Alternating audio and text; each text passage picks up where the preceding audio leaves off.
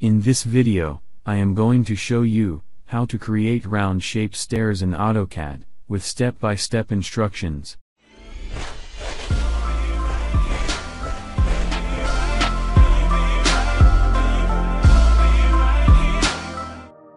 First of all, create a small circle, with a radius of circle is 2, draw a big circle, with radius of the circle 6.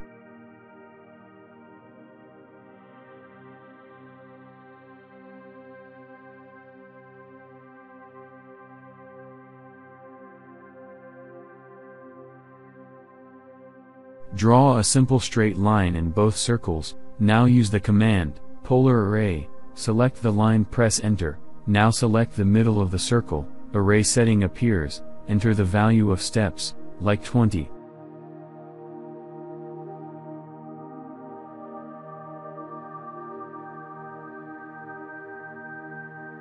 Enter explode command and select the lines, this is a command used to separate the lines or objects. Remove unwanted lines with erase command. Trim both circle unwanted areas with the trim command. Select the helix tool from the toolbar draw menu, now click in the center of the circle select both edges of the helix with dimension 6, select turns in command bar, and type the turn value 0.75. Enter the height of the helix. With divide command divide the helix in numbers of steps.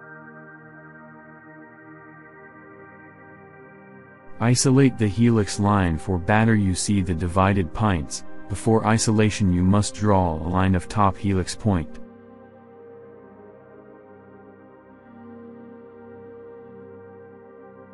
Using presspull command, extrude all steps to divided points, and union all these steps, please make sure your node button on in snap.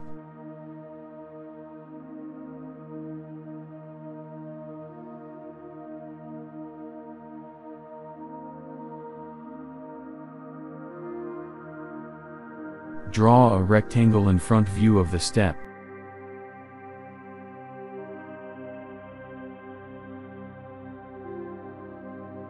Now in the isolated objects and right-click options.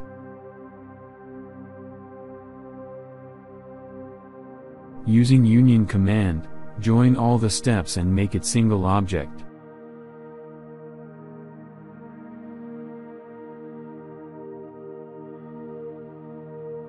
Using sweep command sweep the rectangle with helix.